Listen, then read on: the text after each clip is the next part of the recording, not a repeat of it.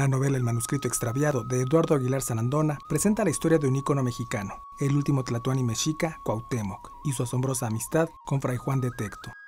Nosotros sabemos mucho de Cuauhtémoc por lo que nos han dicho en la primaria. O sea, que era un joven, que era muy valiente y que, bueno, eh, perdió la guerra contra Hernán Cortés, ¿no?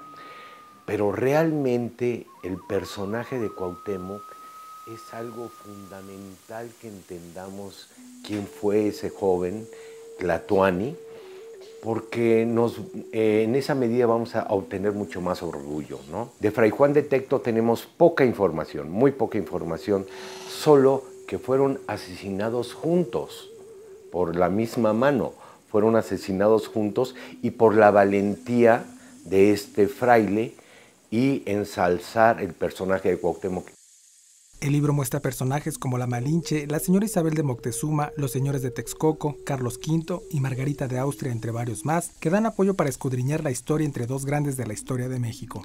Una revelación histórica, porque hay personajes que tenemos extraviados, que tenemos desdibujados, y buscar, no, no pretendo que este libro nos dé el bosquejo completo, pero sí este libro nos puede ayudar a seguir investigando en nuestra realidad nacional. La novela para todo público, especialmente para los amantes de la historia, es resultado del trabajo de la investigación que durante siete años realizó Eduardo Aguilar. En la Sierra de Guerrero, en una visita, llegué a un lugar que se llama Izcateopan. Y en Izcateopan tuve la fortuna de conocer al doctor Juárez, un señor que era descendiente de Cuauhtémoc. Y él me empezó a relatar una historia durante varios días que realmente quedó grabada en mi alma y con la necesidad de expresarla. En este libro eh, no estamos hablando de bajas pasiones, estamos hablando de altas pasiones y estamos hablando de México. México es eh, quien lleva la tónica, el orgullo de de formar parte de esta maravillosa nación. Es una invitación, de veras, es una invitación a que profundicemos en, esa etapa.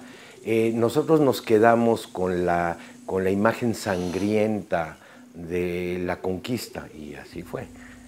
Pero, pero, pero hay mucho de orgullo que podemos escarbar y encontrar en este, en este libro. Con información de Víctor Barbosa e imágenes de Raúl Monroy, Notimex.